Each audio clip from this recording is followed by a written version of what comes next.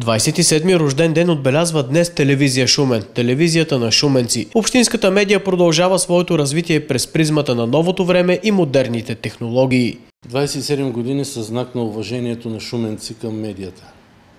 Ако шуменци не си обичаха телевизията, тия 27 години тази медия нямаше да съществува. Това е телевизията на шуменци. Новият телевизионен сезон започна с обновеното студио и поетапно стартиращи предавания, заложени в ефирната програма. Телевизия Шумен е една бързо развиваща се медия, която в момента е забавила темпа заради е, други причини, не чисто технологични или финансови, а поради течащия ремонт на Младежкия дом, където е базирана медията. Бъдещето на телевизията е да се развива в технологично отношение, да става все популярна, да развива периферни медии, освен телевизионния канал.